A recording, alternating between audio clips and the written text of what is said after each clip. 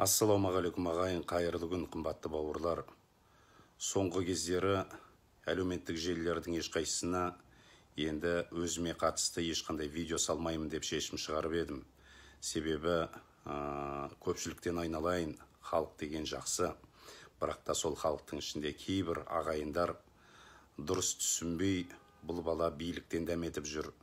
Ә, бұл биліктің аяғын сүюге құштар деген жаңсақ ойлар болғаннан кейін осы ағайын жұрттың ортасында араздық тудырмайын деген себеппен видео салмаймын деп шешкем. Бірақ та қазіргі видео салуыма түрткі болған жанымды жегідей жеген. Қазір ғана фейсбук парақшасына ә, жамбыл облысы жаңылыспасам тараз қаласындағы көп балалы ананың жан айғайы жаныма түрткі болды.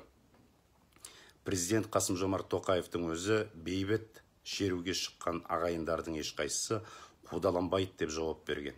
Бірақ та сол көрсетілген видеода көп балалы жеті баланың анасының жан айқайынан кейін мен видео жазбауға дәтім шыдамады.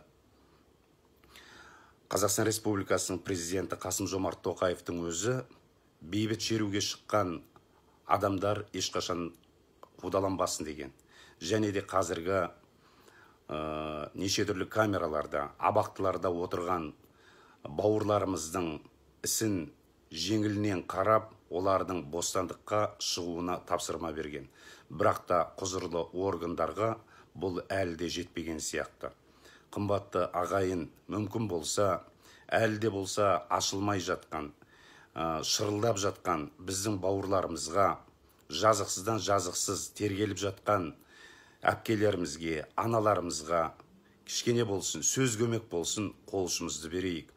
Әрқайсымыз өзімізден бастайық.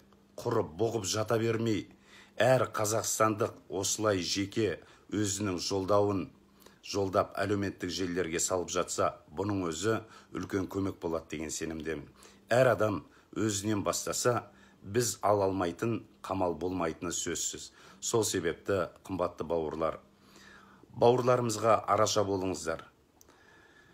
Ә, болса осындай қиыншылықтар көріп жатқан ел жұртпен бірге болыңыздар дегім келеді. Әділдік әрқашанда орнайтыны сөзсіз.